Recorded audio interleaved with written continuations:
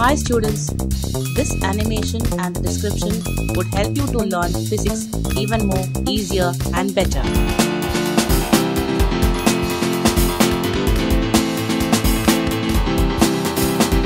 So please do watch it and enjoy learning physics.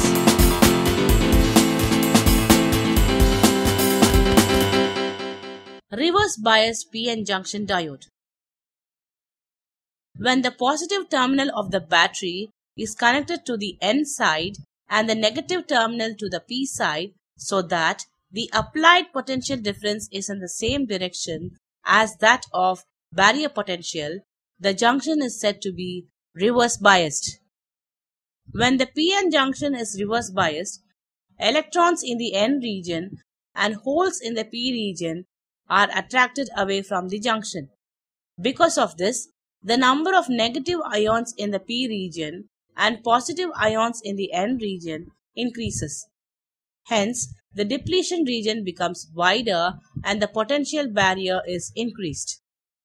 Since the depletion region does not contain majority charge carriers, it acts like an insulator. Therefore, no current should flow in the external circuit. But in practice, a very small current of the order of few microamperes flow in the reverse direction. This is due to the minority carriers flowing in the opposite direction. This reverse current is small because the number of minority carriers in both regions is very small.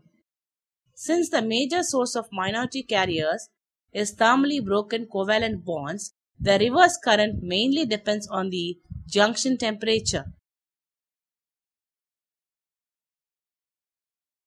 Thank you for watching. Please subscribe this channel for more videos.